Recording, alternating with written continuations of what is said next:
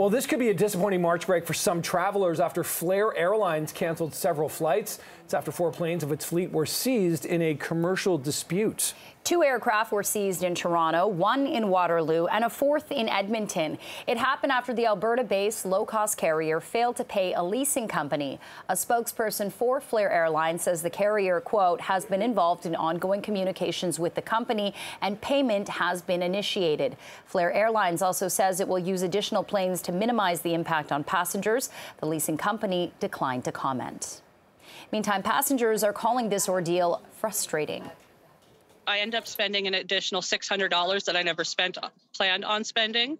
Um, and I, I 100% want that money back.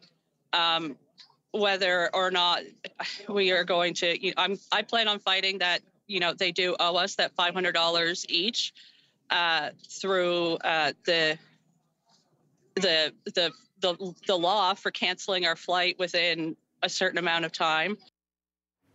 And the CEO of Flair Airlines says the company is working on restoring its service as quickly as possible. I guess um, they chose this weekend uh, to create maximum damage. Um, the dispute is a relatively minor one. Uh, it's roughly a million dollars in um, slightly overdue lease payments. Our schedules are completely unaffected from today onwards. We had some minor cancellations minor for us. I guess in the scheme of things, they impacted the customers badly yesterday, but today we've got our full schedule flying. Um, and as we look forward, we'll have the full schedule continuing to fly. And the airline also said customers can rebook their own travel and receive a reimbursement within seven days.